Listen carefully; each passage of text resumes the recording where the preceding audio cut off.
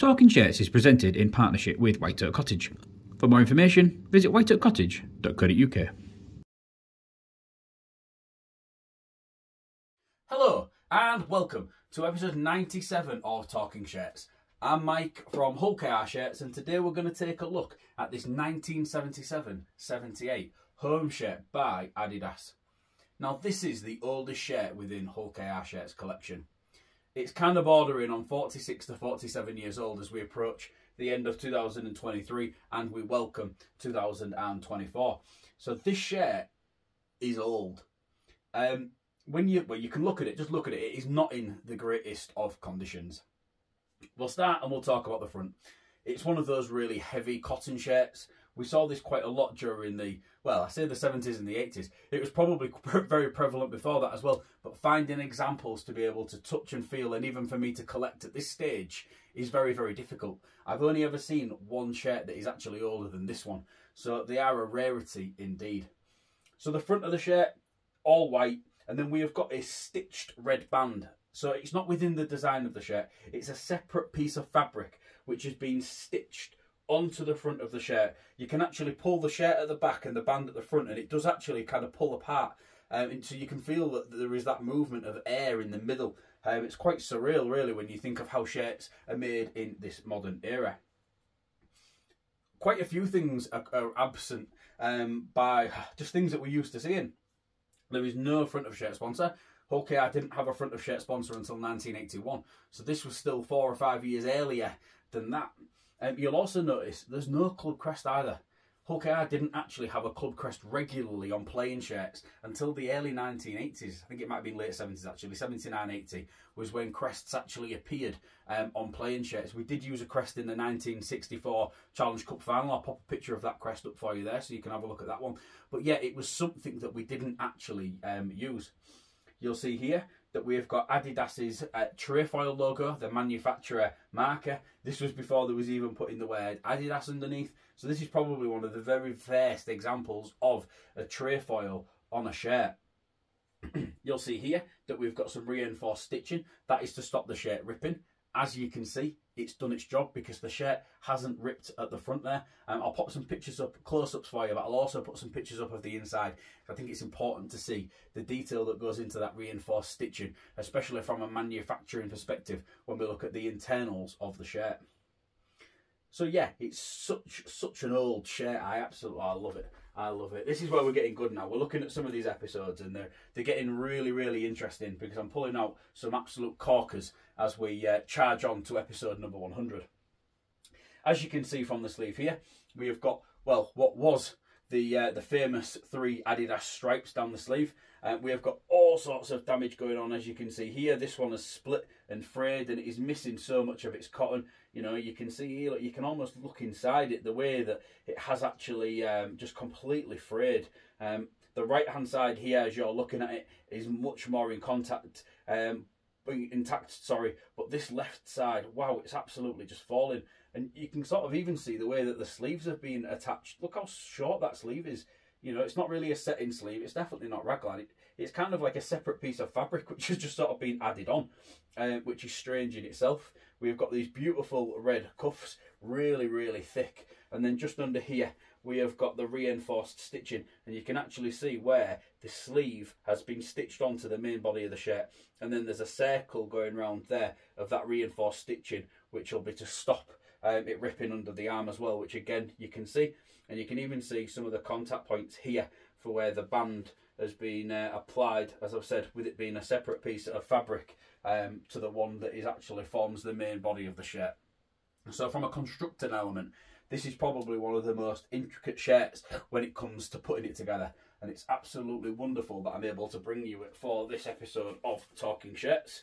Um, as we look to this other sleeve here, and we've got the exact same thing going on as the other one. We've got so much damage. I mean, the fraying that's going on here, and at the top, as you can see, it's just completely missing. You can kind of see some red smudge marks where the the fabric and um, the colour dye has run a little bit. So you can actually see a little bit of shading where that actually yeah, once was. But yeah, the, the damage on this, it's just absolutely beautiful. And I hope you're enjoying watching this episode just as much as I am enjoying it, bringing it to you. So before we have a look at the number back, the, the back of the shirt, sorry, um, here is a quick word from our sponsor.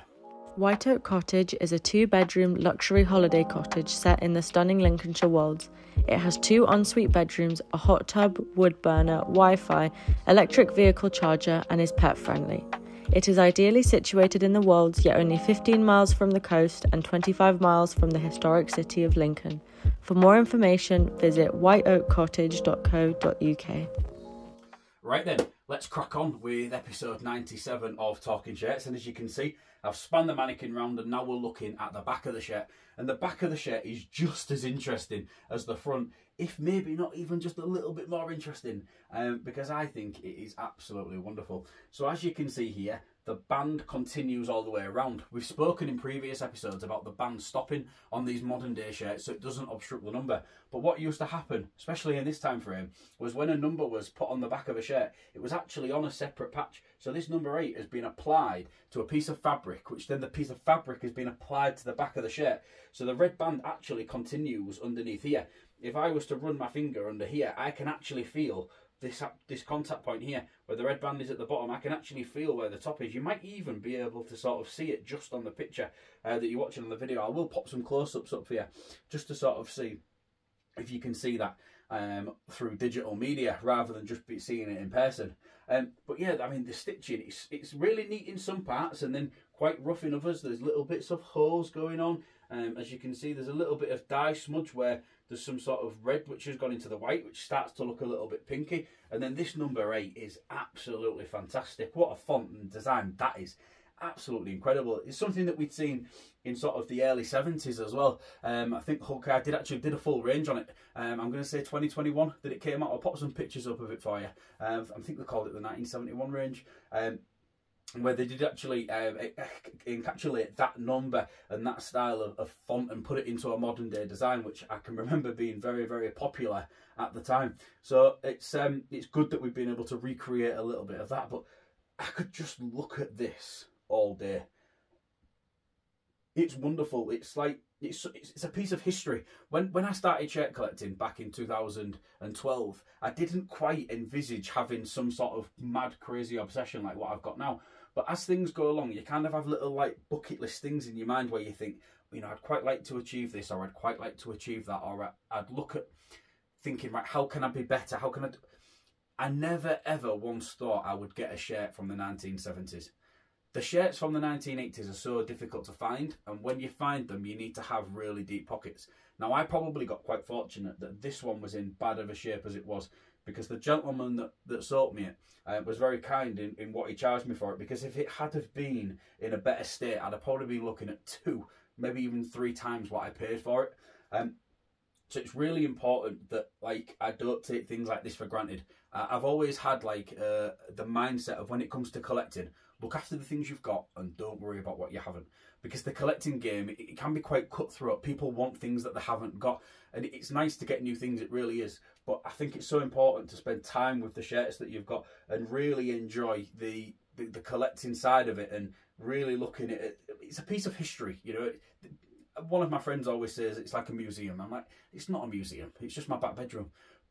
But it's important to remember how kind of far back things go, and, and some of the you know the moments that are within these shirt collections is something that really, really I, I don't take for granted because I know how important and how special um, it really is. Sorry, I went on a massive tangent there, but you can just see that my passion just absolutely oozes through when it comes to shirts and collecting, especially those of Hull KR. Uh, it's something that I am very, very, very passionate about. So this shirt, as we said, we've got number eight on the back. Now, photo matching is a big part of what I do, right? I'm not even going to try because shirts, yeah, pictures from the 1970s are just so hard to find. And when you do, they're normally from the front and not from the back. Photographers obviously want to take a picture of a player from the front. That's where their money is. I almost need away teams photography because then that normally has the back of our players and the front of the opposing teams. So a uh, little tip there for you if anyone's trying to photo match. If you look for the away team's photographer, you're probably more likely to be successful. But yeah, during the 1970s, I'm not even going to try. Now I've got a stat sheet for the 1977-78 season. When I had a little look through there, this shirt could or should, should I say, have been worn by the likes of John Millington, um, Roy Holdstock, Paul Rose, John Cunningham. All these guys played in the number eight during the 1977-78 season. This shirt could have even been worn for training. It could have been worn by somebody in in training.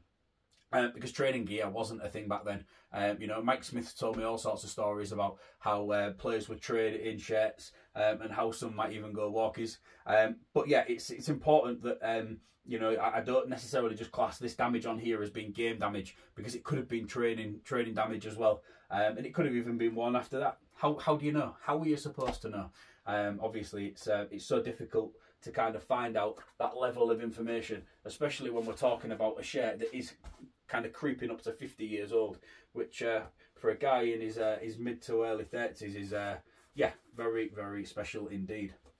So yeah, that's been episode 97 of Talking Shirts, the oldest shirt within the collection. I get the feeling it will probably hold that tag for a little while.